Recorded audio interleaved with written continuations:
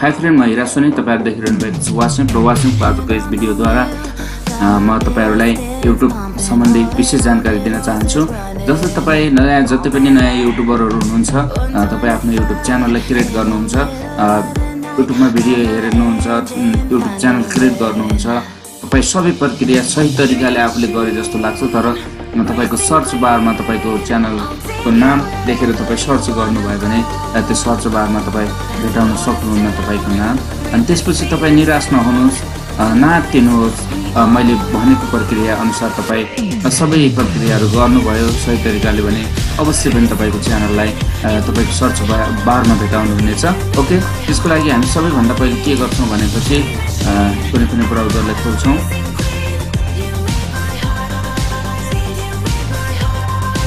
Okay?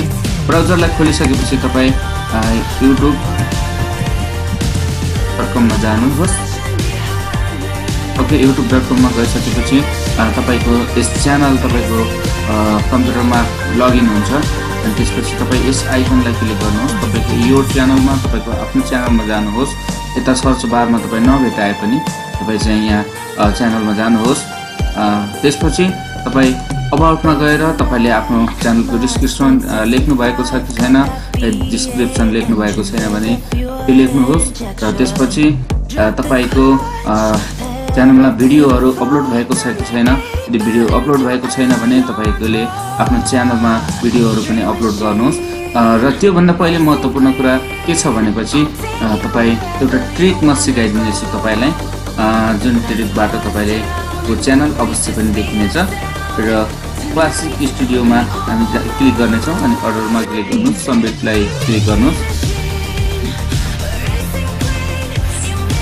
च्यानल्समा जानुहोस्। च्यानलमा गइसकेपछि तपाईँ एडभान्समा जानुहोस्। ओके एडभान्समा गइसकेपछि जस्तै मेरो च्यानलको नाम भिलेज नेपाल हो। भी भिआइएलएलएचई जोडेर छ।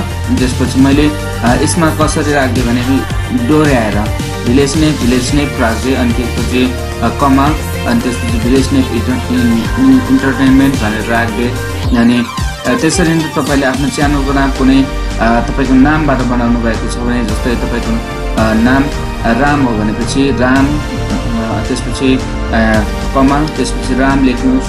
अनि त्यसरी लेखेर तपाईँ यहाँ तल सेभको बटनमा क्लिक गर्नुभयो भने अटोमेटिकली यो जस्तै मेरो च्यानलको नाममा देखिरहनु भएको छ भिलेज नेप अनि त्यसपछि इन्भर्टेड कमा देख्नु भएको छ।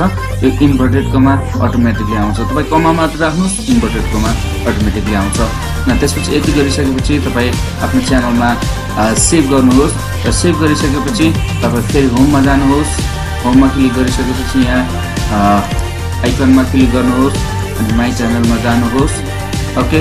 अनि त्यसपछि तपाईँ हेर्न सक्नुहुन्छ त्यसपछि तपाईँ भिडियोलाई क्लिक गर्नुहोस् र भिडियोमा तपाईँको अपलोड बाई अथवा प्रड्युस बाई अथवा यो जस्तै मैले यो डान्स बाई भिलेज नेप यसरी राख्न सक्नुहुन्छ।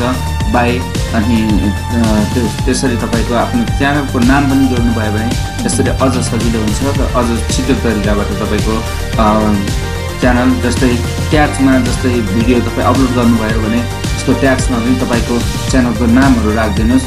त्यसरी पनि तपाईँको भिडियो भिडियो तपाईँको सर्च बारमा देखाउनेछ जस्तै यति गरिसकेपछि अब मैले यो एक हप्ता पछाडि च्यानल बनाएको एक हप्ता पछाडि मैले यसरी सर्च बारमा मैले आफ्नो च्यानललाई सर्च गर्छु। भिआइएलएलएजिई भिलेज नेप सर्च गरेपछि मैले आफ्नो च्यानललाई भेटाउँछु। तर मैले एक हप्ता अगाडि यस च्यानललाई तयार पारिसकेर मैले सर्च बारमा हेर्दाखेरि यसरी सर्च गर्दा जस्तै स्क्रिनमा देखाइरहेको छु। यसरी सर्च गर्दा मेरो भिडियो देखाएको थिएन। त्यसपछि मैले यी प्रक्रियाहरू गरिसकेपछि अब अब मैले यहाँ सर्च बारमा सर्च गर्छु।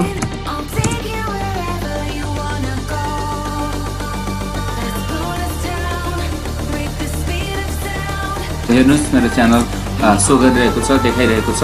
टेक सम्बन्धी युट्युब सम्बन्धी इन्टरनेट सम्बन्धी जानकारी प्राप्त गर्नको लागि मेरो वाट्सएप च्यानललाई लाइक कमेन्ट अनि सब्सक्राइब गर्न नभुल्नुहोला र साथमा रहेको बेल आइकनलाई पनि प्रेस गर्न नभुल्नुहोला।